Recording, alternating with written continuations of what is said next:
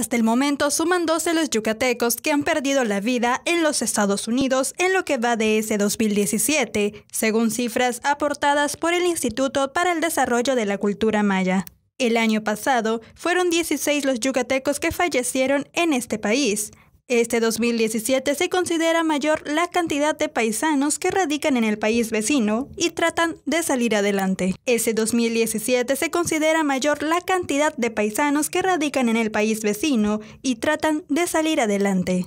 Hasta el momento se ha logrado concretar el traslado de los cuerpos a Yucatán para encontrarse en sus tierras y ser vistos por última vez por sus familiares. Por su parte, la directora del INDEMAYA, Rosario Cetina Amaya, informó que ya han sido deportados de Estados Unidos cerca de 141 yucatecos, de los cuales 5 son jóvenes. Telemar Noticias.